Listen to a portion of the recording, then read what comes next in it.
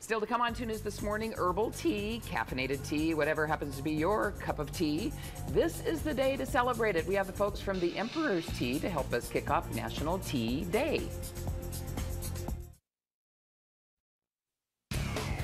Okay, Friday was National Donut Day. Today is National Iced Tea Day, and we have some experts with us. MC, uh, MC Rivetti and Kate Conroe. You're from Emperor's Tea, right? And uh, so you know, you, and you just got back from a national conference. We did. We got back from the uh, World Tea Expo in Las Vegas. Wow. Okay.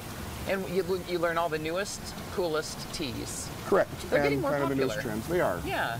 What are you going to make for us today? Today we're going to actually be making an iced tea that's called Sicilian Blood. Okay. It's a tea blend that we do that uh, consists of blood oranges, Sicilian Mm-hmm. blood oranges, um, hibiscus, rose hips, and natural oranges in there. So it's not just a tea bag.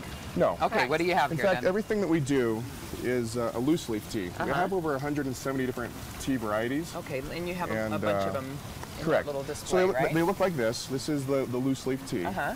And so basically everything comes loose. So basically just okay. looks like that. And the reason we do loose leaf versus bagged is because it allows for greater expansion. It allows for free flow of water, which extracts more of the nutrients and benefits from the tea. Okay, then you put it in something like this. Then we put it in one of these. And basically, um, these are a great tea brewer that we have that uh, there's a microfilter in the bottom. So you just basically pour some of the tea in. And depending on which tea it is, we have Okay. a large variety of them. And you add the hot water. Add the hot And water. then you do you add the ginger and orange and stuff while it's steeping? You can. Okay. Um, for an iced tea, I kind of prefer to do it afterwards because it adds a little bit more of a fresher taste to it. Okay. All right, so you let it steep for how long? For this particular tea, roughly around seven minutes Okay. is where we go. And we've had one brewing here already. And so we can kind of show you what we're going to do with that. Well, we're already out of time, so you, Okay. you end up pouring it in here yeah, with end the up pouring ice it on in it. there with okay. the ice. Put it in the cup. And this is what it is. Uh-huh. So do I get to try this? Yes, go ahead and And it has it. a blood orange, so a nice citrus. Correct. There's a lot of vitamin C in this. Oh my gosh, that's great. You don't have to add sugar. No sugar.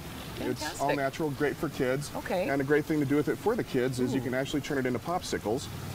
And so it's a great, Perfect. refreshing, healthy way to hydrate your kids throughout the summer Okay. and get the electrolytes in them. Well, thanks so much. And uh, the Emperor's Tea. The Emperor's Tea, Lake and if you want to purchase it, you can go to theemperorstea.com. Okay, thanks so much, you guys. Thank you. I've learned you. a lot. Perfect, Ron. Cheers. Yeah, that, that does look refreshing. Mm, it would go good. along with the donut left over from donut week, donut day yesterday, or Friday, I guess it was. All right, thanks a lot. Still to come.